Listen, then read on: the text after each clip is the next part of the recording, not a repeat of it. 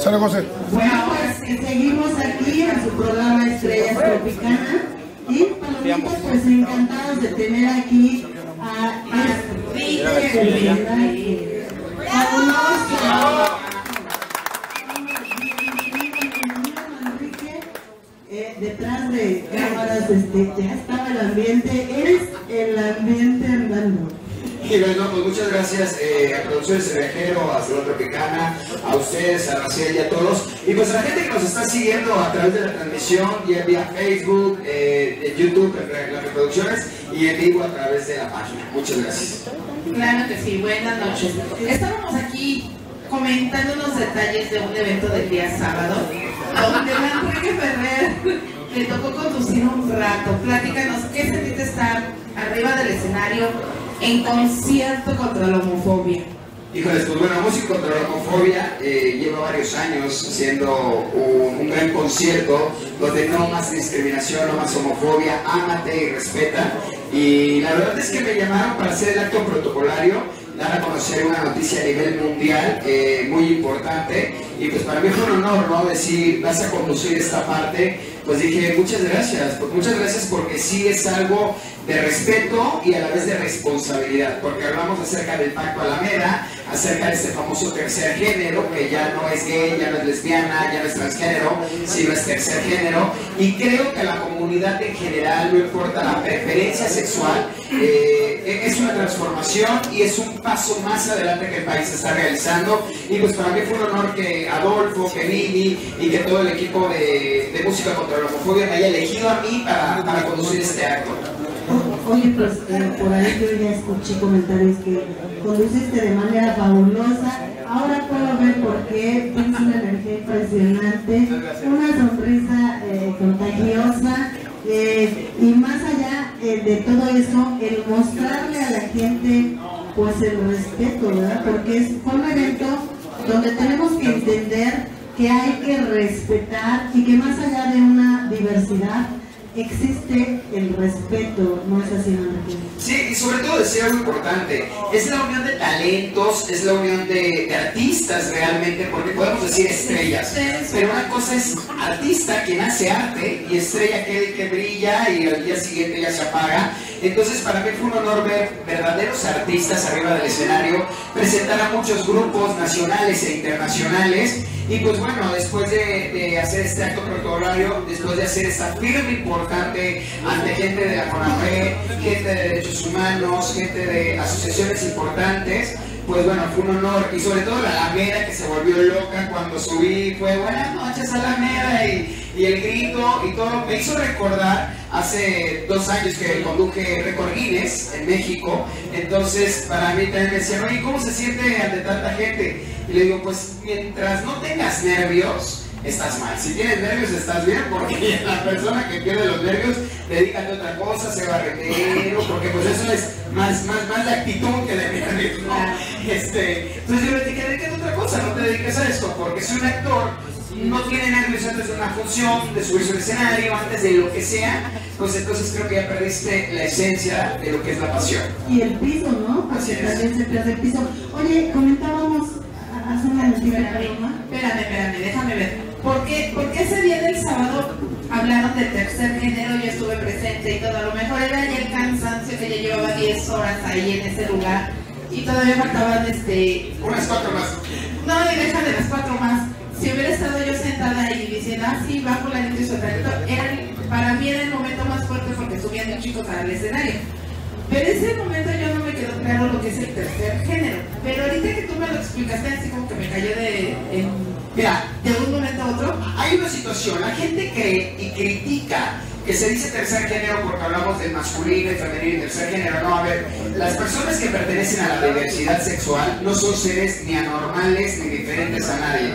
Simplemente se les denominó tercer género porque es una forma de ya generalizar esta, esta etiqueta mal puesta llamada gay, lesbiana, transgénero, bisexual o como le quieran llamar, o mal llamados en la sociedad mexicana eh, con palabras altisonantes. Entonces, en vez de poner etiquetas, de criticar, pues es una forma de decir somos o son un tercer género, simplemente. No te puede decir que eres diferente a alguien. ¿Por qué? Porque es una tercera familia. La primera familia es cuando obviamente eh, naces y perteneces a una. La segunda es cuando generas una pareja o, o alguien con quien vas a vivir. Y esa tercera familia es cuando te quedas solo. Cuando te quedas solo y la soledad se vuelve tu familia, entonces llegas a un asilo o llegas eh, a alguna casa, eh, pues a veces hasta hogar podría ser, y son esas situaciones lo cual hace que exista esta famosa tercera familia. Y una forma de llamarlo más rápido fue tercer género. No es que seamos o sean diferentes a otros, de que tú eres este, heterosexual, yo soy heterosexual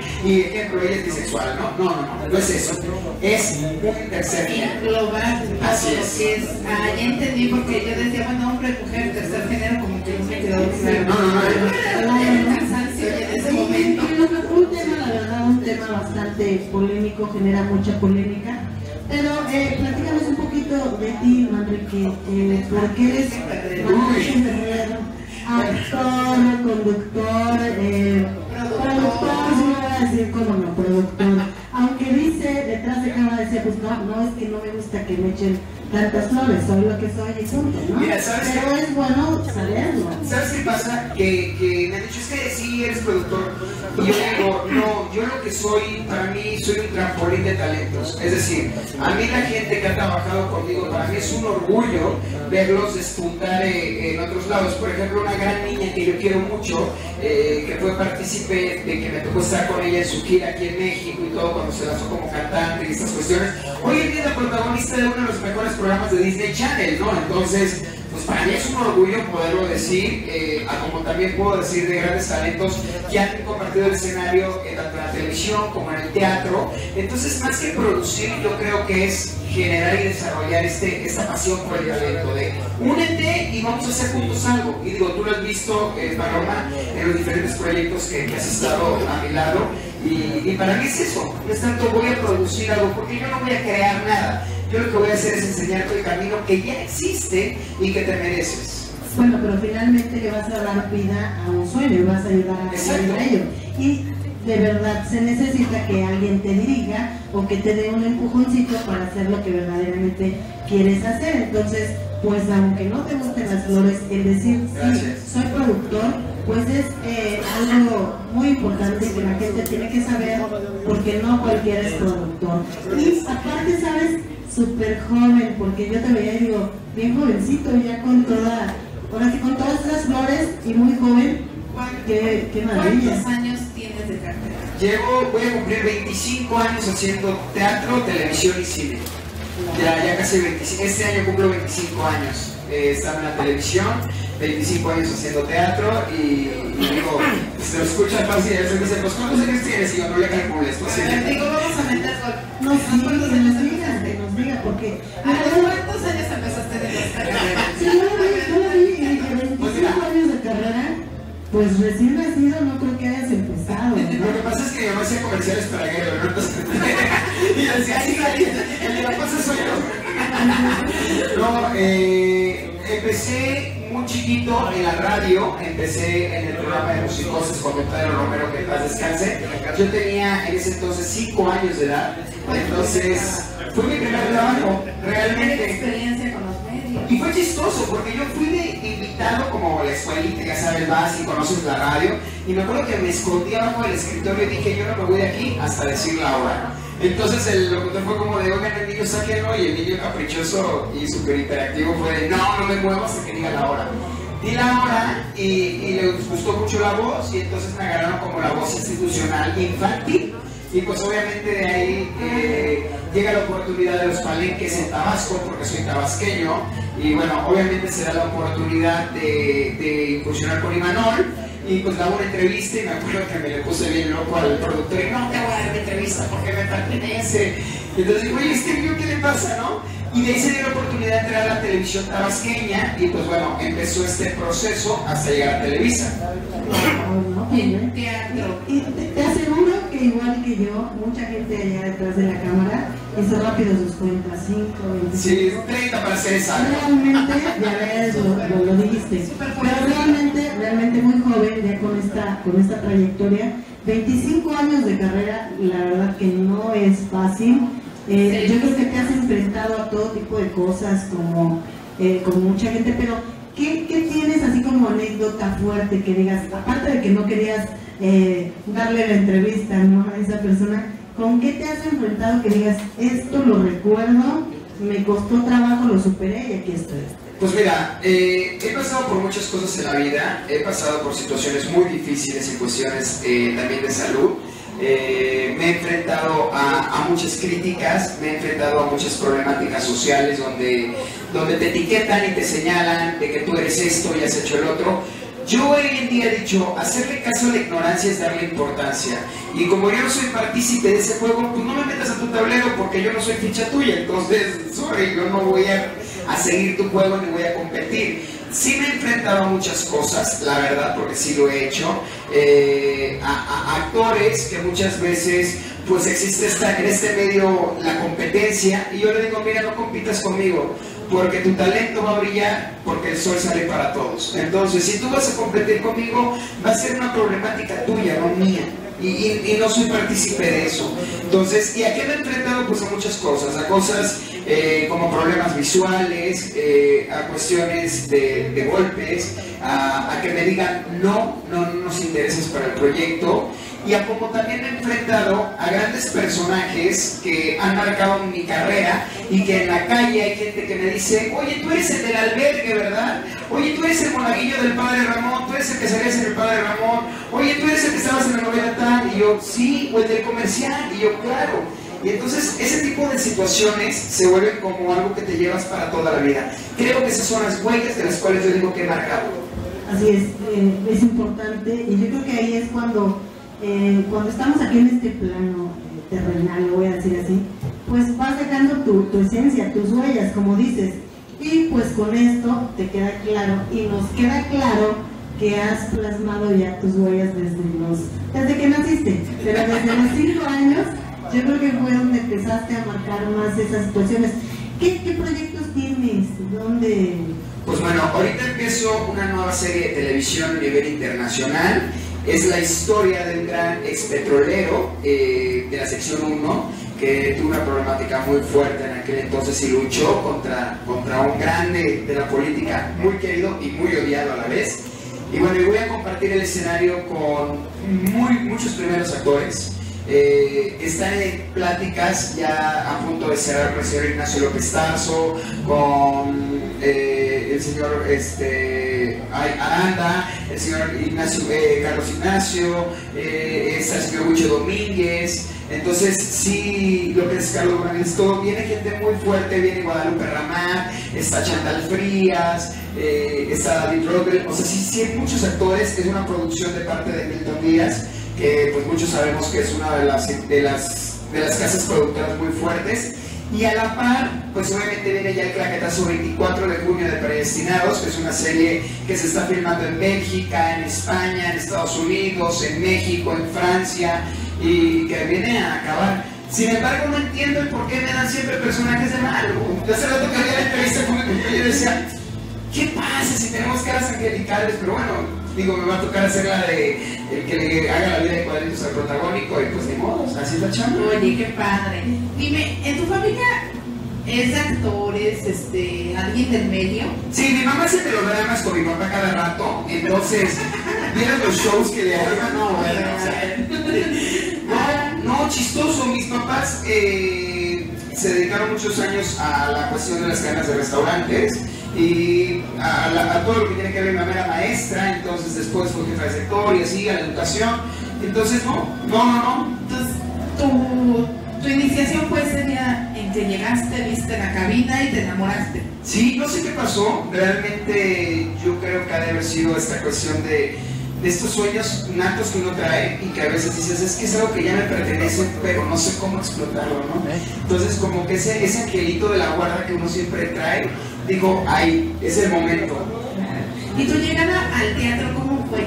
Vamos a hablar un poquito del teatro, porque por ahí hay una obra que de verdad a mí me impactó muchísimo, pero tu llegada al teatro cómo fue? Mira, mi primer personaje eh, se llamó Buscando a Santa. Eh, fue hace muchísimos años, yo era un niño, tenía como 7 años, 8 años en el teatro, hice a Leopoldo, que era un conejo, y como tengo mucho las, la facilidad de las voces, eh, me tocó ser un personaje loco, que era como esta cuestión, algo inspirado en Alicia en el País de las Maravillas.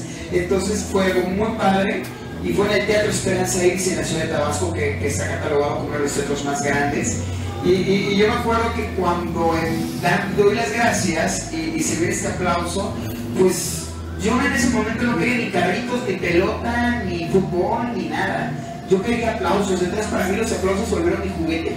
Y yo decía a mi mamá, me acuerdo, eh, mi mamá, mi abuelita, paz descanse, que siempre fue como mi mamá en aquel entonces, yo le decía, madre, porque decía, mamá, tú, mamá, tú es que, es que cada que aplaude es como si me estuvieras llevando a un parque de diversiones. Y se volvió como mi pasión eso. Era la adrenalina. Sí, Sí. la adrenalina. Y aparte de la adrenalina, eh, pues lo que ya traías, ¿no? Porque verdaderamente se tiene que nacer con cierto don y ya nada más el empujoncito y desarrollarlo. Esa es la realidad. Porque no cualquiera puede venir y pararse si no tiene como que esa esencia o ese don.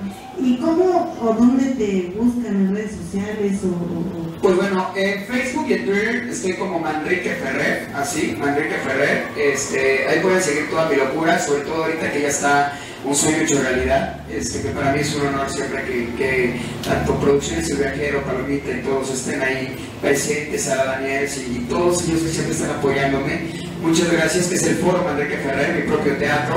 Entonces, pues, fue un logro que muchos dicen, oye, ¿cómo a tu edad ya tienes un teatro? Y yo, cuando te enfocas en algo y no pierdes la visión, lo logras.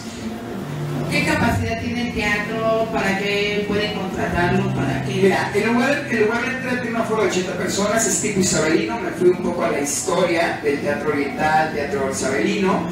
Eh, es un concepto eh, totalmente eh, común para, para el verdadero teatro, no es tanto esto que llamamos corbato proscenio, Eh, es muy íntimo porque el público está sobre gradas, entonces sientes al actor a dos metros de distancia y, y disfrutas, hueles, sientes, escuchas, todo es, es como si te estuvieran, si fueras parte de la obra. Claro, Qué, qué fantástico. Y, y, y mira, Palomita, pues más impresionante y más respetable. Ve a tu edad, a tu corta edad y mi teatro. Ya tengo mi teatro, pues no cualquiera lo hace. Es, de verdad, nos da mucho gusto que estés, que estés aquí con nosotros, que nos compartas un poquito todo esto, que conozcamos de, de los talentos que tienes, porque no solo es uno, ¿no? Son varios talentos, eh, también como conductor, como, eh, bueno, eres un todólogo en toda la extensión de la palabra, pero bueno, Palomita, tenemos que seguir Bueno, con platícanos, esto. antes de que te- nos vayamos, platícanos. ¿Qué ha pasado con la obra? Mira, Tabones ya cumplió tres años de gira nacional. Ahorita eh, nos vamos otra vez, vamos a seguir en varios estados. Eh, híjoles, la verdad es que ha marcado la vida de muchos chavos, eh, muchos adolescentes. Regresamos a temporada el 18 de junio, todos los domingos a las 6 de la tarde en el Foro Manrique Ferrer. Pueden buscar a través de www.foromanriqueferrer.com. Está la cartelera, eh, vamos a estar con eslabones. Obviamente, pues digo, tú lo sabes, es una obra que habla sobre adicciones, trastornos de personalidad, homosexualismo, abandono de padres, eh, todo, todo lo que pasa en la sociedad actual. Entonces, sí es muy fuerte y, y sí, seguimos, seguimos, no paramos. Cada día estoy más feliz de, de la gente que, que- entra a trabajar conmigo. Eh, estoy muy agradecido con todo mi equipo técnico, la verdad, con, con Pete, con Nico, eh, con mis RPs, con David Reséndiz, con todos, todos, todos, porque, porque sin ellos esto no existe. Para mí ellos son lo más importante antes que uno mismo. Bueno, pues, pues qué gusto de tenerte aquí. Espero que en alguna otra ocasión, o esperamos que en alguna otra ocasión, vengas y nos hables un poquito de esta obra que pues se ve bastante importante e interesante. Pero vamos a un corte y regresamos regresamos. aquí a su programa Estrellas Tropicales.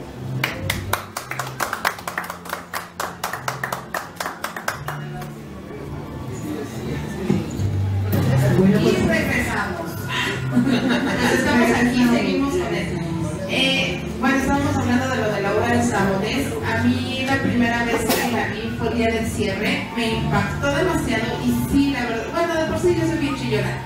Pero este, sí me hizo llorar. El, desarrollo, la trama, eh, los actores. Me impresionó ver a Manrique. Yo lo conocía muy poco en esa ocasión, pero me impresionó verlo en el escenario, esas transformaciones tan grandes. Y este, ahora que lo conozco más digo, ahora entiendo. Está loco de naturaleza.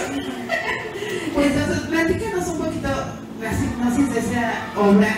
¿Cómo, quién escribió? ¿Cómo? Mira, Eslabones es, está escrita por mí. Eh, realmente, parte de la historia de Eslabones tiene que ver con mi vida, porque yo pasé un proceso muy fuerte hace unos años, eh, cuando lamentablemente la vida te marca, cuando eh, cuestiones de personas malas y negativas abusaron de mi persona y, me lastimaron, me quitaron un ojito y el otro ojito me lo lastimaron por completo, dejaron un- una, debilidad visual de casi un 15% de visión, por eso ya de noche a veces dicen, ¿por qué no sales? No, pues no salgo porque te juro que me voy a golpear con todo, entonces mejor me quedo en casa, ¿no?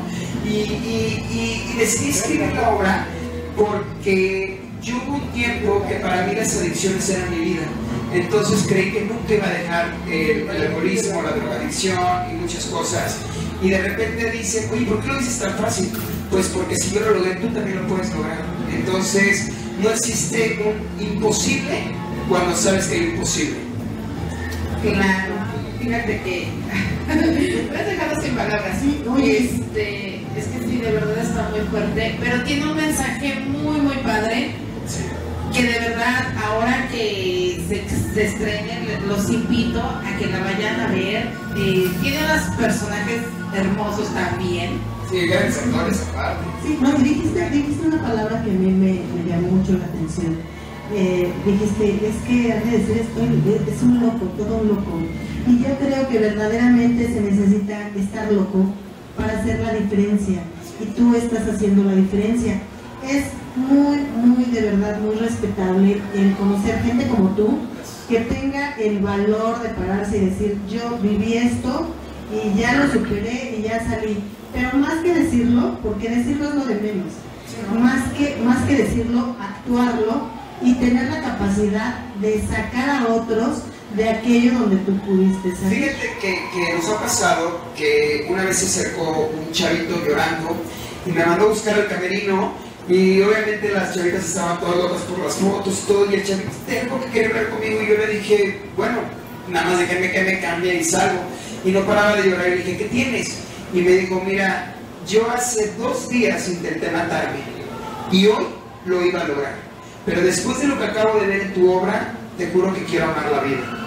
Entonces para mí me quebró el, o sea, me quebró el corazón en ese momento y dije, gracias Dios, gracias eh, mi poder supremo, en que cada uno crea, digo, se respeta toda la, fe de cada quien. Y, yo dije, gracias, porque si este niño cambia, cambia el mundo. Y ese es el objetivo de mi obra, que cambien diferentes mundos. Si el mundo de alguien no quiere cambiar, no es responsabilidad mía. Las opiniones existen, las decisiones están en ti. Entonces yo ya puse la opinión, tú decides si la quieres ocupar o no. Entonces, pues a mí este tipo de, de acciones me hacen decir, eslabones sigue hoy, mañana y siempre, así la critiquen, así la quieran destruir.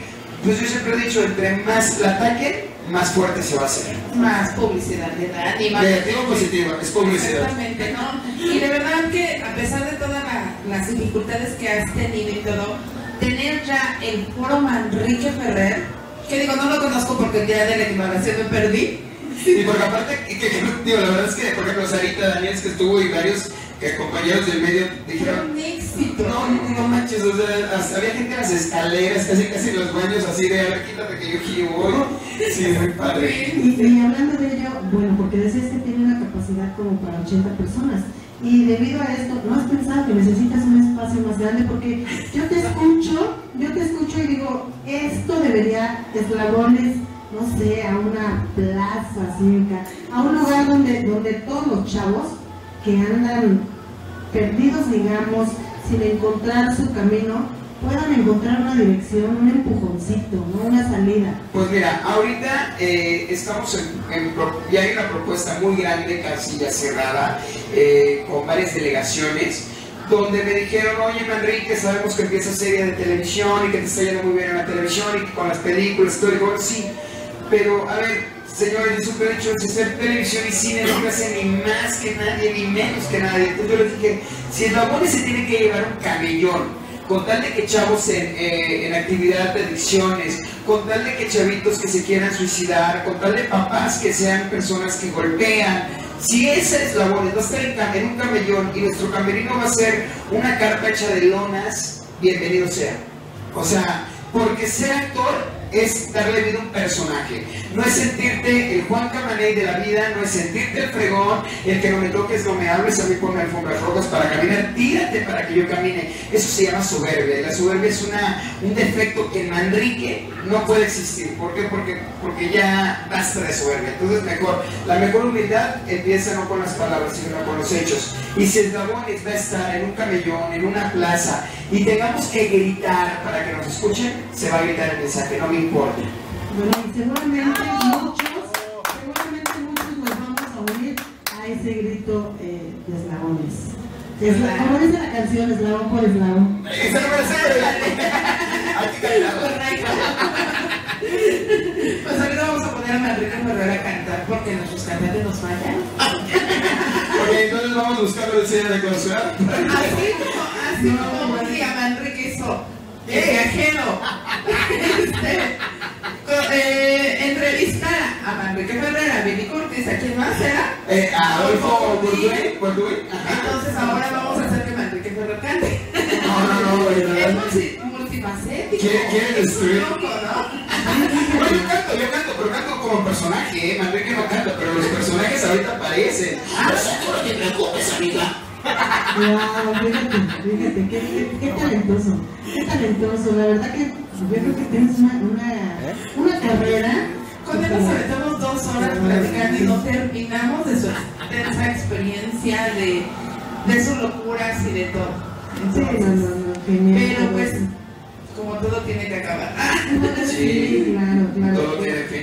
Fíjate que son de los, de los, de los momentos que disfrutas, donde tienes una plática, eh, porque verdaderamente estar aquí en Estrellas Tropicana, aquí en la Plaza Garibaldi, es eso, Palomita, el que disfrutamos de una charla, de una plática amena con las personas, con las personalidades que están aquí con nosotros, y son de las entrevistas que disfrutas, disfrutas desde la risa, la seriedad, y detrás de cámaras yo escuchaba las carcajadas, las caras, y eso es lo que verdaderamente es, espérame, déjame, te digo que antes de entrar al aire estaba yo parte de estar con Manrique porque en una breve plática, aunque yo ya sabía algo de, de su vida y de lo que le iba a preguntar, me siento y le digo, dime a qué te dedicas desde hace cuánto, y me dice, es que yo era, yo este... Yo me dedicaba al trato de blancas. Y yo me quedé así de que, eh, perdón, ¿cómo? Sí, pero o sea, yo tenía una lavandería, trataba blancas, sábanas, cobijas, almohadas, cosas, todo. Digo, también de colores, pero eran más blancas, era tan pobre en ese entonces que pues es lo que más me llegaba. Atrás de nos preguntaban, bueno, ¿cuál es la risa? Este es el detalle de la risa. Y la presentación que tuvimos en el digo, sí que contra la homofobia de un grupo, el cual me dice, ¿vas a presentarnos? Sí, yo me subo. Entonces subo a nivel internacional, Europa, África, Francia, lo mejor de la música, ellos son. Y ¡pum! Y, y Paloma así de, ¿y, quiénes son? Ups, lo Sí, desconocí en ese momento. Pero tú decías algo que diga Paloma, no te preocupes porque lo estoy decretando, ¿eh? Así que cuando estés en Europa, al rato vas a decir, oye, tú lo dijiste, oye, es que, es que yo lo imaginé, y cuando imaginas que eras. Pero de qué está que la fotógrafa. No, nada más que se vayan ellos, ¿eh? Ah, no, sí, todos, todos Si creas que estás a un paso de, de lograr tus sueños Así es. y de alcanzarlos. Y pues, Así como el foro Manrique Ferrer. Hola, así es. visítenlo, www.foromanriqueferrer.com Eso. Vez, porque creo que no se escuchó mucho. www.foromanriqueferrer.com Síganos en redes sociales, Foro Manrique Ferrer. Dale like y siga a nosotros. Pues bueno, un placer tenerte aquí con nosotros, aquí en tu programa. Eres bienvenido cuando te gustes. Y vamos a un corte Y regresamos.